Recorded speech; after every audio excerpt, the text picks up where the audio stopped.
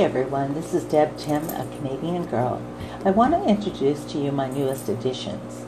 Back when I had the Columnaris outbreak, I lost so many of my beautiful fish. My four clown loaches were among them. Well, the other day when I went out to pick up the fine gravel for my Angels Aquarium, I stopped by the pets department. I really have missed my clowns and often check to see if they have any and if they look healthy. Well, this group just arrived from the breeder. They were active, a nice size, and nice and sick. I chose four and added them to this aquarium. Because the juveniles lack color at this age, the bright colors of the clowns give my tank a nice color boost.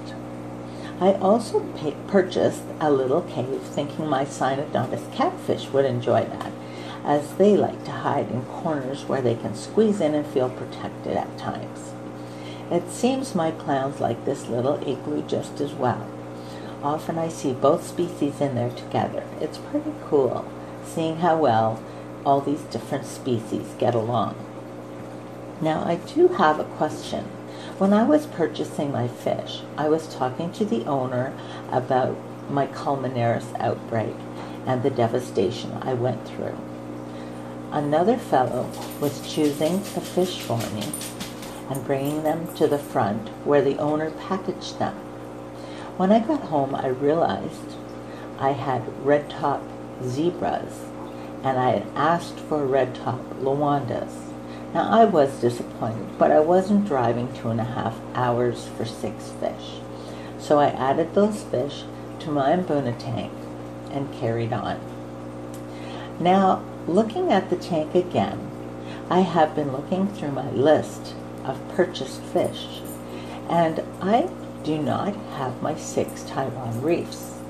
Instead, I have six silver fish with a black stripe running down their side, which I do not know what they are.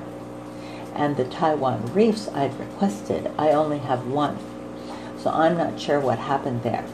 But my question to you is if you could help me identify the silver fish with the black stripe running down its side. There's also a broken black stripe across their dorsal fin on the back of their on their back.